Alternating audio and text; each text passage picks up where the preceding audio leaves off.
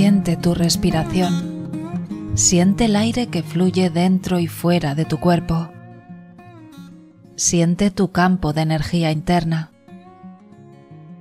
Lo único que tienes que afrontar, con lo que tienes que lidiar en la vida real, en oposición a las proyecciones mentales imaginarias, es este momento.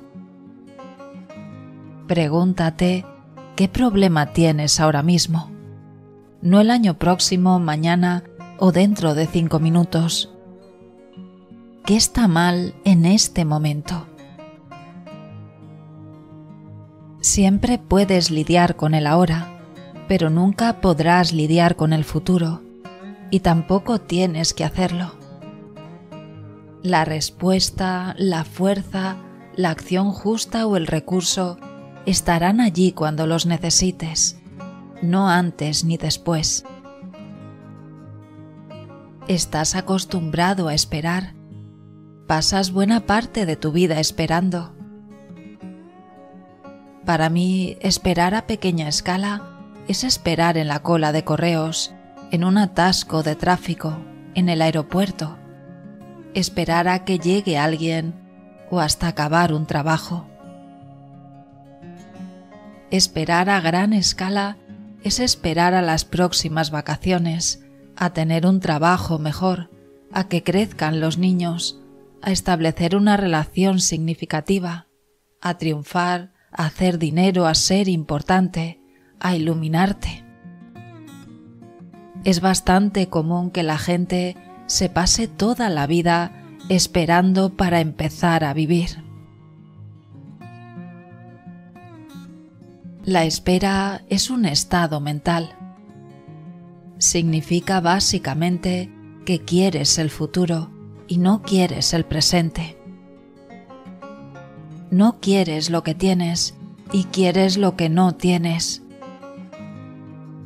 Cuando esperas, estás creando un conflicto inconsciente entre tu aquí y ahora, el lugar donde no quieres estar, y el futuro proyectado, el lugar donde quieres estar.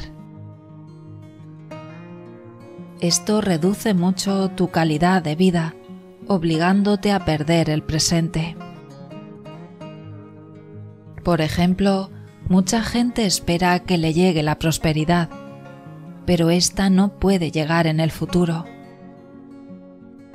Cuando honras, reconoces y aceptas plenamente tu realidad presente, dónde estás, quién eres y lo que estás haciendo ahora mismo, cuando aceptas plenamente aquello de lo que dispones, entonces agradeces lo que tienes, agradeces lo que es, agradeces ser.